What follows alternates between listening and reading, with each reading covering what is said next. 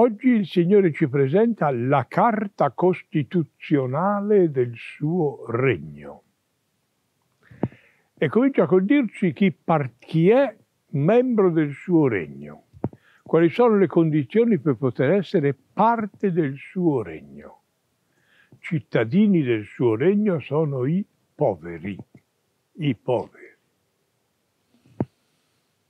Cominciamo subito a precisare il concetto perché solitamente si confonde, si, si unisce insieme poveri e denaro, povertà e denaro, mentre invece tante volte non ha nulla a che vedere la povertà con il denaro, la povertà di spirito con il denaro. Ed è talmente vero che ci sono delle persone che sono vissute in un ambiente tutt'altro che povero, che erano poverissimi, secondo lo spirito, e gente che è vissuta in un atteggiamento di indigenza che non erano poveri. Basta pensare, Voitiva, grande santo, non ha lasciato niente, viveva in una reggia, nel Vaticano è una reggia. La madre Teresa di Calcutta viveva tra i baraccati, tra i baraccati.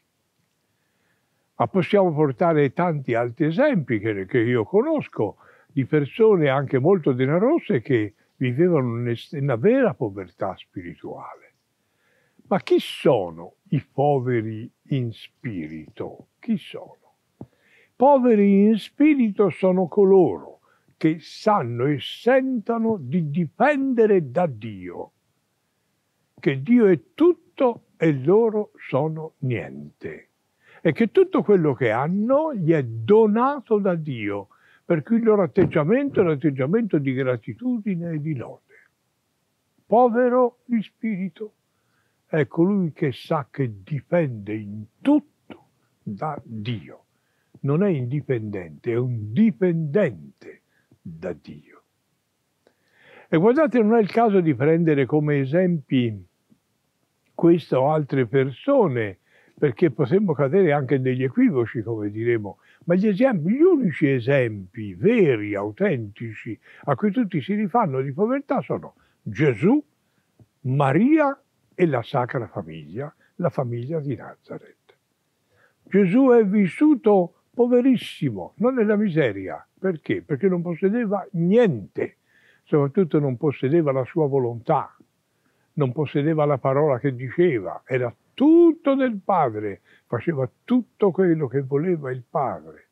Maria addirittura ha avuto il coraggio di dire tutte le generazioni mi chiameranno beata, per cui il, Maria è il modello di povertà e di umiltà, perché dipende da Dio, assolutamente da Dio.